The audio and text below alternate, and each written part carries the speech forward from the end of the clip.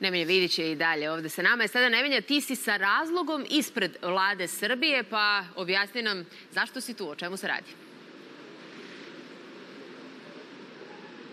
Tako je, Majo, za 17 časova zakazan, je protest freelancera ispred vlade zbog, kako kažu, retroaktivnog oporezivanja. Međutim, o tome zna više moja sagovornica Jelena Ćirić.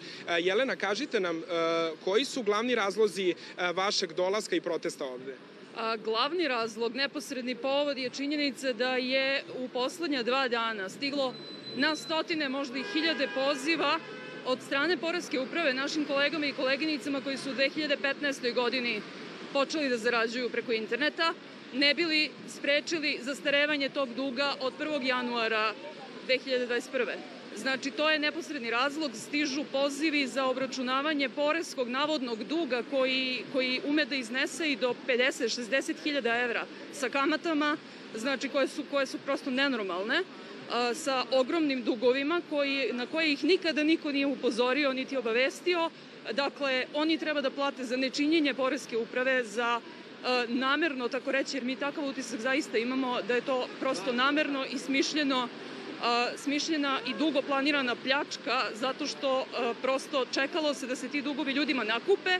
Pritom zakonodavac nema nikakvog sluha za nas svih ovih godina, dakle mi ne postojimo ni kao radnici, ni kao zaposleni, ni kao nezaposleni, ni kao samozaposleni, ni kao poslodavci, ni kao bilo šta u zakonu. Dakle, to je drugi razlog i treći razlog je ignorisanje uporno. Znači, mi se igramo ping-pong loptice sa ministrom financija Sinišom Malim, E, koji prosto nas e, ili ignoriše, a onda izlazi i daje izjave pred medije koje su prilično kako bih rekla, mislim, neistinite i sračunate da nama, tako reći, da nas zavade sa drugim radnicima i da nas predstave kao utajivače poreza i kriminalce. Sprem toga, koji su onda vaši zahtevi? Naši zahtevi su kao prvo da se pregovara, da konačno prestanu da nas ignorišu. Dakle, da sednu sa nama za sto, da saslušaju šta imamo da kažemo, imamo stručne timove koji rade na, na sastavljanju nekih za, predloga zakonskih rešenja, dakle da se nađemo na nekakvoj polovini, na nekakvoj, e, prosto da, da za početak počnemo da razgovaramo, jer ovo nije razgovor.